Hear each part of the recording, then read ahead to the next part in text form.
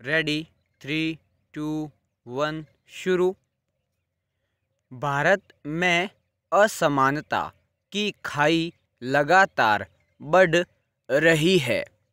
अमीर और गरीब के बीच बढ़ती यह खाई देश के विकास में एक बड़ा अवरोध है। इसे पाटे बिना देश के विकास की परिकल्पना बहुत मुश्किल है।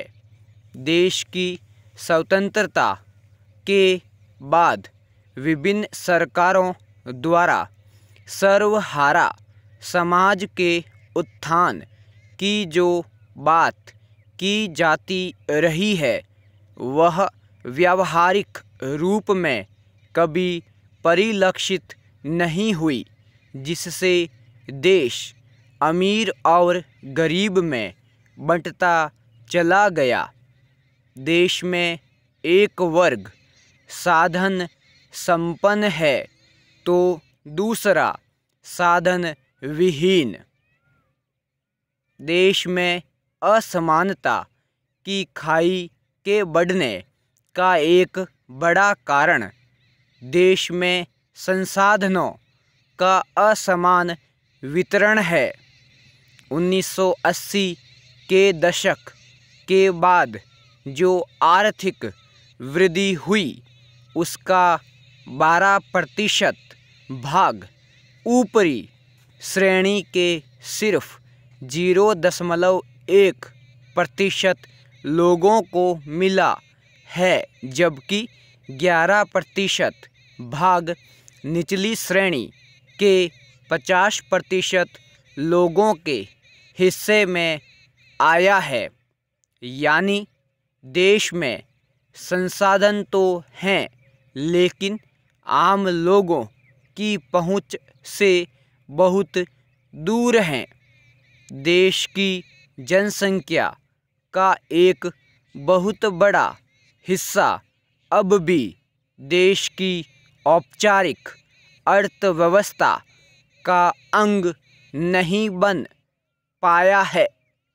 इस वक्त देश के सतहत्तर प्रतिशत मजदूर देश की अनौपचारिक अर्थव्यवस्था का ही भाग बने हुए हैं।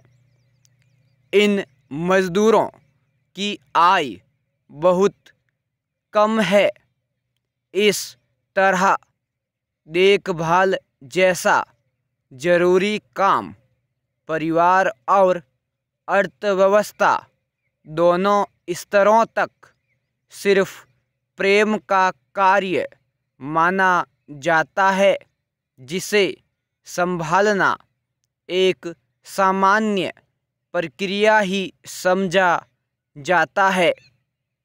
देश की ये महिलाएँ और लड़कियाँ खाना बनाने, घर की सफ़ाई करने और बुज़ुर्गों तथा बच्चों की देख रेख में अपना जीवन लगा देती हैं। लेकिन इनको वर्तमान अर्थव्यवस्था का लाभ बहुत कम मिल पाता है। इसी तरह आंगनबाड़ी कार्यकर्ता घरेलू काम करने वाले एवं बुज़ुर्गों और बच्चों की देखरेख जैसे कामों में लगे अन्य लोग बेहद कम वेतन पर काम करते हैं। ऐसे कामों में न तो काम के घंटे तय होते हैं और न ही दूसरे कामों की तरह अतिरिक्त सुविधाएँ मिलती हैं।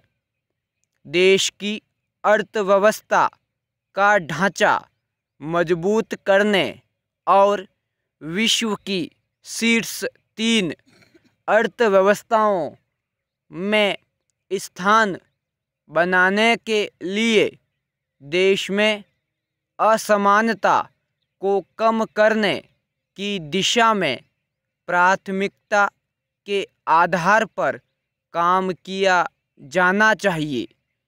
एक ऐसा वातावरण बनाने की ज़रूरत है जिसमें बेहतर स्वास्थ्य और शिक्षा, यथोचित रोज़गार, न्याय, उन्नत तकनीक और उत्कृष्ट प्रौद्योगिकी तक देश के लोगों की पहुँच बनाई जा सके।